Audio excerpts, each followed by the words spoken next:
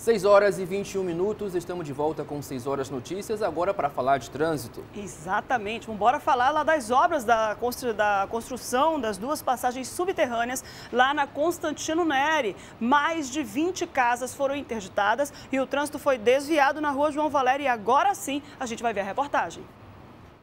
Aos poucos, tapumes eram fixados no canteiro da avenida. Estes são os primeiros passos da obra que terá duração aproximada de um ano e três meses. O novo sistema viário da Constantino Neri irá interligar os bairros Nossa Senhora das Graças, na Zona Sul, e São Geraldo, na Zona Oeste de Manaus. A obra é considerada a maior intervenção já feita na Constantino Neri e promete melhorar o trânsito no principal eixo entre as zonas norte e sul da cidade. O sistema viário da Avenida Constantino Neri ocupa uma área de 35 5 mil metros quadrados. Serão construídas duas passagens subterrâneas, uma aqui no cruzamento da rua João Valério e a outra na rua Pará.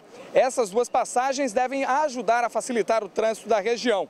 O projeto existe há mais de 30 anos e só agora começou a ser executado. Para a realização da obra, 22 casas foram interditadas totalmente e outras 22 de forma parcial. E hoje eu posso dizer que nós temos dinheiro para no verão investirmos nos bairros, investimos em pontes, investimos em muita drenagem, investimos sem nenhuma dúvida em duas grandes obras, dois grandes complexos viários, como o do Manoa e este aqui da Constantino Neri com João Valério. Na manhã desta terça-feira, a rua João Valério teve o trânsito interditado. Blocos de concreto impediam o tráfego em direção à Zona Oeste. Para seguir viagem, o motorista precisou dobrar à direita em direção ao Parque dos Bilhares e fazer o retorno por baixo da ponte. Houve que não gostasse muito da mudança. Vai complicar a vida de muitos trabalhadores, né? Mas a maioria dos usuários da via acredita que a mudança trará melhorias em longo prazo.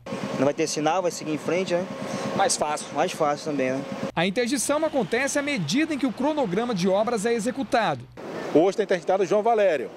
Conforme o andamento da obra, a gente vai interditando as outras partes. Por causa da construção subterrânea, a faixa azul da Avenida Mário Ipiranga foi liberada para o tráfego de todos os veículos. As faixas exclusivas da Constantino Neri e Torquato Tapajós também vão ficar liberadas até a conclusão da obra, orçada em 64 milhões de reais. Os recursos são oriundos de uma operação de crédito com o Banco do Brasil e a Caixa Econômica Federal, por meio do Fundo Municipal de Desenvolvimento Urbano, o FMDU.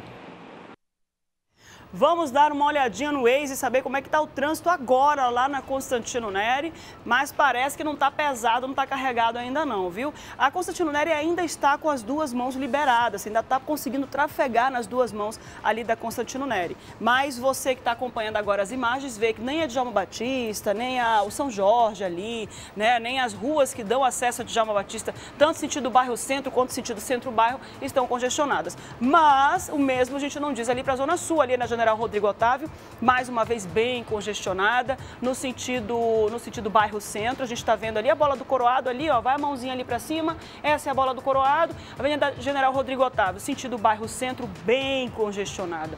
E a General Rodrigo Otávio que passa pelo Japim, passa pela Costa e Silva, vai em direção ao centro da cidade, pegando ali à esquerda, ainda ali na feira do Japim, você consegue acessar o Distrito Industrial, ah, tanto o Porto da Ceasa, ali na Bola da Suframa, é por essa rua aí que você pega. E também passa em frente ao FAM, Universidade Federal do Amazonas. Ali na Bola do Coroado ainda, ali na direção da Cosme Ferreira e Governador eh, José Lindoso, as duas avenidas extremamente congestionadas. A gente está vendo que está bem vermelhinho ali o trecho no Waze, indicando que o fluxo está muito intenso, muito carregado, o trânsito está pesado nessa área. Corre um pouquinho mais para cima, deixa eu ver ali que rua é aquela, desce aqui, ali para a tua lateral, por favor, Cheyevna. Acho que é Altais Mirim. Nossa, Altais Mirim ficou marrom, não ficou nem vermelha mais, viu? Que, que indica um trânsito muito carregado. E a rua também, a Avenida das, dos Oitis, também bem carregada, já ali para zona, zona norte da cidade. Você está acompanhando aí as imagens, viu? Muito carregado o trânsito. Vamos tentar evitar esse trânsito e achar as, ruas, as ruelas ali adjacentes para evitar todo esse congestionamento e esse acesso que você está tendo aí. Olha só o fã aqui, bem no meio, né? Você, você consegue acompanhar aqui todo o campus da UFAM, mini UFAM, Universidade Federal do Amazonas, Instituto de Tecnologia, que você acompanha ali. Então você está vendo que aqui é a Ubra, né, que fica ali já pra, pra perto do Japim. Então você vê ali toda aquela extensão da da, do nosso trânsito. Daqui a pouco a gente volta com outras informações do trânsito, tá? E olha só, professores do Amazonas devem cruzar os braços. Os professores do estado aprovaram o indicativo de greve da categoria. Eles cobram um reajuste salarial de 15%, enquanto o governo quer dar só 3%. Os professores lotaram a quadra do Rio Negro Clube no centro de Manaus. Cerca de 1.500 educadores da SEDUC e da SEMED estavam presentes, alguns deles com cartazes. Os servidores pedem melhores condições de trabalho, pagamento do Fundeb e melhoria no plano de saúde. Uma verba federal vinda justamente para ser acessado na questão de benefícios e aumento salarial para os professores. Além das outras reivindicações, os professores pedem também 15% de reajuste salarial, mas, segundo a categoria, tanto a SEDUC quanto a Cefaz decidiram apenas 3,93%, o que os professores não aceitam em acordo acordo. É inaceitável. Nós queremos que a mesa de negociação que está eh, aberta para as outras pautas, menos para o percentual, seja reaberta. Durante a Assembleia, um grupo de alunos invadiu a quadra, se posicionando contra a greve da categoria. Houve tumulto. Depois da Assembleia Geral, os servidores da SEDUC decidiram paralisar os trabalhos a partir desta segunda-feira, dia 15 de abril. Pois é. Em nota, o governo do estado informou que tem se mantido aberto ao diálogo com os representantes das categorias para apresentar as propostas e possibilidades do estado em relação às reivindicações dos trabalhadores da educação. Além disso, o governo já garantiu a reposição salarial de 3,93%. Eles pedem 15, os professores pedem 15 e apresentou proposta de pagamento das progressões horizontais por tempo de serviço, garantindo mais de 2% de reajuste para 22 mil professores da educação. Houve ainda a proposta de pagamento das progressões verticais por qualificação, que podem representar ganhos de 12, 50 e 55%. As duas propostas foram apresentadas como uma alternativa para garantir ganhos reais aos servidores da educação nesse momento em que a lei de responsabilidade fiscal impede a oferta de percentuais maiores na database. Juliano. A gente tem essa situação da lei de responsabilidade fiscal, né? A gente vive hoje uma crise no Amazonas, a gente sabe que os professores realmente merecem, tem muito trabalho. Imagina um professor em sala de aula cuidar de tantos alunos, às vezes crianças a gente sabe que realmente é uma responsabilidade muito grande, mas precisa realmente desse acordo aí entre a classe dos professores e o governo do estado também, para que a gente possa chegar a um consenso e que fique bom para os dois lados, dada a crise em que a gente vive hoje no estado. E essa crise, ela vem já de dois a três anos. Infelizmente, o Amazonas passou por instabilidade política. Nós tivemos um governador caçado, uma eleição tampão, que infelizmente elegeu um governador que ficou um ano e meio piorando ainda mais a situação do Estado. Então, o atual governo pegou uma situação caótica no Estado. Obviamente que os professores merecem tudo que é de melhor. Para mim, é uma das profissões mais importantes, mas a gente precisa negociar, porque o momento, infelizmente, não dá para se conseguir tudo consegue um pouquinho, recua um pouquinho. É assim que funciona. É, a gente tem aí as informações também de que na segunda-feira as aulas podem ser suspensas, os professores realmente querem cruzar os braços aí, e a gente tem essa informação de que na segunda-feira pode não ter aula na rede estadual de ensino. E olha, tem oportunidades para os moradores do Prosamin. O CETAM vai disponibilizar cursos profissionalizantes nos residenciais. Quem conta a história para a gente é a Meixa Piama. O Centro de Educação Tecnológica do Amazonas, o CETAM, em parceria com o Prosamin, vai disponibilizar vagas de cursos profissionalizantes para os moradores dos residenciais. O objetivo é colaborar com o desenvolvimento social e profissional das famílias, além de incentivar o empreendedorismo. Agora, eu vou conversar com a diretora do CETAM, a Joésia Pacheco, que vai dar mais dicas aí sobre esses cursos. Começaram já as inscrições, Joésia?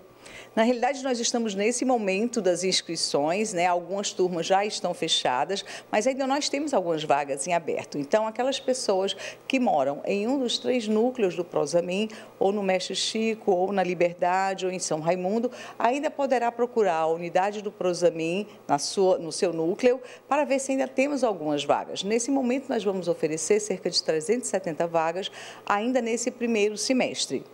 No segundo semestre ainda deste ano, o governo, através dessa parceria, governo do Estado do Amazonas, oferecerá mais vagas, de forma que nós possamos não só promover o desenvolvimento social, como você falou, estimular também o empreendedorismo, mas também aumentar as chances de empregabilidade dessas pessoas, como dessas pessoas que moram nesses três núcleos, como os cursos de atendente em farmácia, como o curso de operador de caixa e dentre outros variados cursos no caso, só para os moradores que moram nesses três residenciais, né, diretora?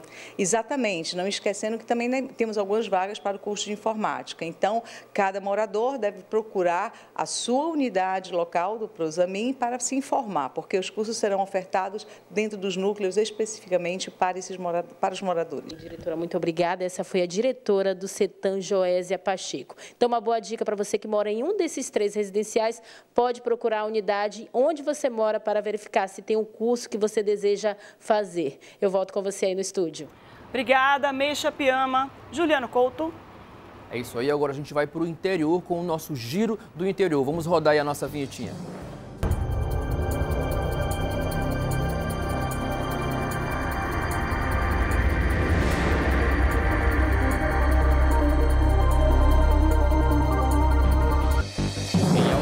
Policiais militares e civis prenderam Ozione Batalha de Oliveira, de 24 anos, Rodrigo Mendonça Lira, de 20 anos e Ednilson Ribeiro Protásio, de 21 anos.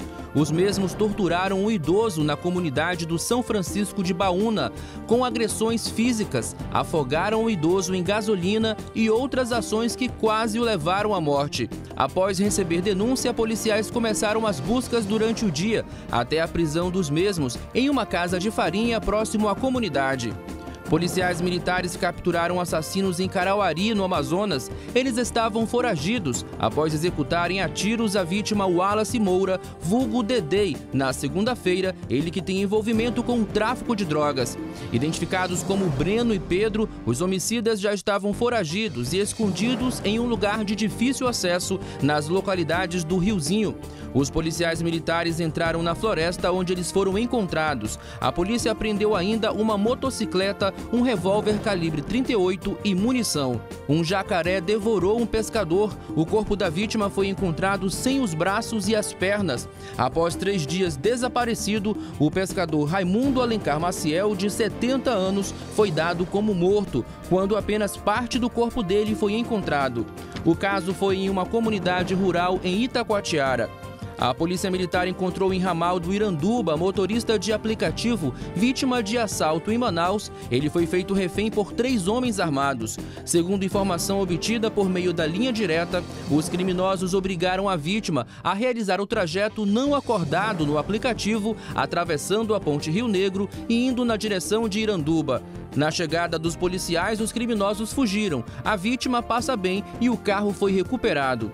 Em Santa Isabel do Rio Negro, funcionário de embarcação é preso com drogas, cerca de 20 quilos de maconha tipo skunk, que estavam em posse de Clenilson dos Santos Souza, de 35 anos, natural de Iranduba. O destino da droga seria a capital, Manaus. Complicado, né? Olha só, o interior do Amazonas enfrenta dificuldades para alcançar a meta de vacinação contra a gripe. Dia 20 agora começa a ser aplicada a segunda dose das crianças. O Amazonas foi o primeiro estado a receber as vacinas de combate à gripe influenza. Em Manaus, a meta da campanha de vacinação dos grupos prioritários foi atingida em menos de 20 dias. Não há novos casos de contaminação do vírus. Manaus já chegou aos 101% de vacinação do grupo prioritário. Já nos municípios do interior do Amazonas, o número ainda é baixo, com apenas 63% da cobertura vacinal. A maior dificuldade da equipe de vacinação é a logística, pois mais de 50% da população do interior vive em área rural ou área indígena de difícil acesso. Nós não podemos esquecer que os nossos municípios ele não têm apenas a área urbana. Ele tem a área rural também nós temos áreas indígenas. Então, isso aí dificulta mais a gente alcançar a nossa meta em tão pouco tempo. Não é? E sem contar que tem a chuva agora também que está nos atrapalhando. O município de Presidente Figueiredo é um dos poucos que teve o resultado da campanha satisfatório até o momento. A cidade recebeu pouco mais de 7 mil doses de vacinas e já chegou a 54% da população dos grupos prioritários vacinados. No Amazonas, 33 pessoas morreram entre fevereiro e março desse ano, sete no interior do estado. As grávidas ainda preocupam. 10% delas ainda não foram vacinadas. É isso aí, a gente vai continuar ainda em Presidente Figueiredo, sabe por quê?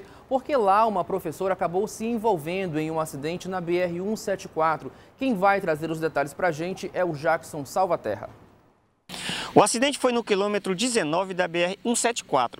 O veículo era conduzido pela professora Aldair Silva de Oliveira. Segundo informações de testemunhas, chovia muito na hora do acidente. A Polícia Rodoviária Federal esteve no local controlando o trânsito. Ela foi levada até o Hospital 28 de Agosto em Manaus em estado instável. Eu volto com vocês aí no estúdio. Obrigado, Jackson. E olha, em Parintins, a Delegacia da Mulher registra queda em violência contra as mulheres, mas crescem aí os registros de estupros de vulnerável. Quem traz os detalhes para a gente aqui no telão é Tadeu de Souza a Delegacia da Mulher registrou uma queda no número de ocorrências de violência doméstica aqui em Parintins. Esse dado é importante porque diariamente havia muito registro de violência doméstica, mas no início deste, deste ano, agora principalmente no mês de abril, houve uma queda nessa, nesses números de ocorrência. Mas, em compensação, cresceram os registros de estupro de vulnerável. Sobre esse assunto, quem fala conosco aqui é a delegada da Mulher de Parintins, Alessandra Trigueiro, que dá mais detalhes. Bom dia, doutora. É, bom dia. Exatamente. Em relação à violência contra a mulher, a gente observou uma redução é, no, no, número de ocorrências e nós observamos também que as mulheres elas estão fazendo procedimento quando elas já estão denunciando quando há os primeiros sinais de violência. Há investigações em andamento? É, assim, em estupro de vulnerável, nós estamos com oito casos novos, né, que nós recebemos durante essa semana. Infelizmente, ainda são as pessoas que têm vínculo, né, é, algum grau de parentesco com, a, com, as, com as vítimas. E nós observamos também nesses últimos procedimentos que nós estamos recebendo denúncias dos mais variados. Muito obrigado à delegada da mulher, Alessandra Trigueiro, que nos deu essa informação. Portanto, lamentável, oito casos só nesta semana já foram registrados aqui na delegacia da mulher. Volto com vocês aí no estúdio. Obrigado, Tadeu. Um grande abraço a todo mundo lá de Parintins, porque agora a gente vai para Borba, porque no sul de Borba, no interior do Amazonas, as mulheres estão protestando aí contra a atitude de pelo menos dois vereadores que foram flagrados em gravação filmando uma moradora do município. Vamos acompanhar.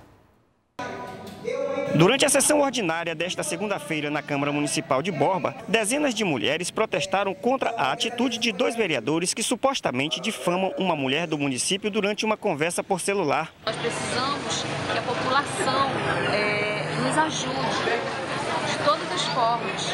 Não peça só pelas mulheres borbenses, mas pelas mulheres que vivem no interior. No áudio que vazou, o vereador identificado como Luiz Almeida, do MDB, conversa com Jacimar Batista, do PMN. Eles falam coisas íntimas de uma mulher e ainda mencionam outros homens que supostamente teriam se envolvido com ela. Naquele tempo ela, Paraíba e o Rodrigo Graça, nós três. No plenário da Câmara, Maria Elizabeth, do PSD, a única mulher a ocupar o cargo de vereadora, saiu em favor das mulheres. Não tem respeito com a mulher. Não tem os vereadores suspeitos de difamação não comparecem às sessões desde a semana passada. Apenas o vereador Jacimar Batista foi localizado e disse que vai se pronunciar sobre o áudio no momento oportuno. Já o vereador Luiz Almeida não foi encontrado até o fechamento desta edição. É isso aí, agora a gente vai ao vivo falar com o Vitor Gouveia lá de uma situação que aconteceu no Amazonino Mendes, uma mulher acabou sendo morta. Vamos falar aqui ao vivo com o Vitor Gouveia. Olá, Vitor informações se traz aí para gente?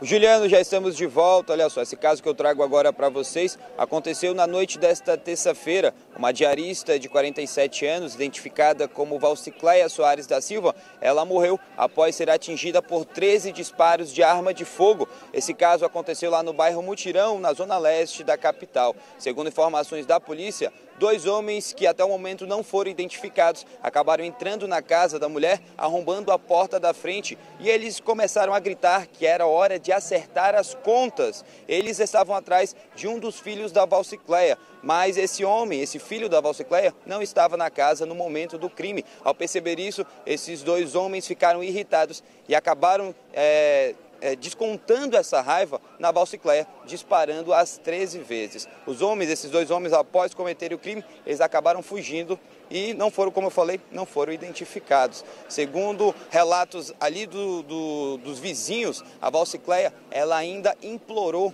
para não morrer ela gritava, implorava para não morrer, dizendo que estava grávida de dois meses, mas esses dois homens não tiveram piedade e brutalmente acabaram executando ela. Márcia, Juliano, agora esse crime ele deve ser investigado pela delegacia especializada em homicídios e sequestros. Volto com vocês. Obrigado, Vitor. Que crueldade, né? A mulher pedindo ali, né, pra, clamando pela vida, mas acabou infelizmente morrendo. Márcia. Uma crueldade mesmo, viu, Juliano? E olha só essa situação. Um carro foi roubado de uma família na segunda-feira. Só que a polícia conseguiu localizar o veículo e os criminosos no dia seguinte. E a ocorrência não acaba por aí não, porque com a prisão, os policiais acabaram desarticulando uma quadrilha envolvida em roubos e tráfico de drogas aqui na capital. A operação que resultou na prisão de dois homens e apreensão de um adolescente começou às 11 horas da manhã desta terça-feira e ultrapassou a noite. Tudo começou com o roubo do carro desta funcionária pública, na zona centro-sul de Manaus. Ele foi em direção ao meu esposo, que estava com um bebezinho de dois meses, e mostrou a arma, já foi é, é, anunciando o assalto. Aí a gente falou, não, nós não temos nada, não temos nada. Ele falou, a chave do carro, aponta a arma testa do meu esposo, meu esposo disse, não, não, nós não temos nada. Ele disse, a chave do carro.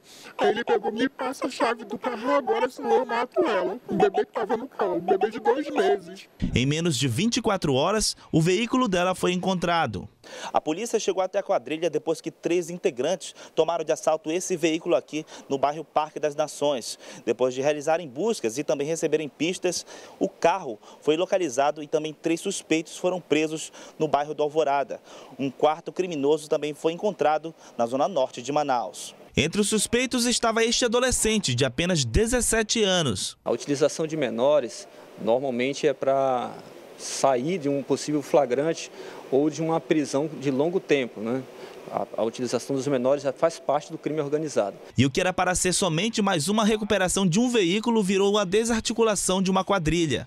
Entre os suspeitos detidos estava este motorista de aplicativo, que fazia o transporte dos criminosos no momento da prisão. Ele conduzia este carro, que também foi apreendido. O irmão dele era quem comandava o grupo responsável pelos assaltos. Desse outro carro que a gente encontrou, eh, foi encontrada uma, uma porção pequena de droga e ele foi indagado mais uma vez, é, inclusive onde foi, foi detido mais um outro indivíduo que ele, ele mesmo havia apontado e daí foi feita diligência para outra casa e nessa casa que foi encontrada materialidade, é, arma de fogo, munição, carregador, inclusive é, a prensa e a quantidade de droga lá. Aqui. E não foi pouca coisa. No total foram apreendidos 3 quilos de droga, entre cloridrato de cocaína e skunk, além de material para refino do entorpecente. A prensa apreendida tinha pressão de até 30 toneladas, segundo a polícia. O grupo foi autuado por porte ilegal de arma de fogo, roubo majorado, organização criminosa, tráfico de drogas, associação ao tráfico e corrupção de menores, no caso dos adultos. Eles mataram bem uns cinco coelhos com uma cajadada só, né, Juliano? Como responder a tudo isso daí, né? tudo isso por causa de um roubo de um carro. Aí acabou que a polícia pegou todo mundo, desarticulou a quadrilha inteira e olha só quanta apreensão que a polícia trouxe para balanço aí na, nesse inquérito policial, né? É verdade. Que benção. Agora, sabe o que a gente vai ter no próximo bloco? O que, que é? Olha eu só. sei, mas eu vou fazer de Já conta sabe, que eu não né? sei. Finge que você não sabe. Tá chegando aí a Semana Santa e as feiras de Manaus se preparam aí para a grande, enorme quantidade de vendas que a gente vai ter nas várias zonas da cidade. Não sai daí que a gente vai já já mostrar para você após o intervalo.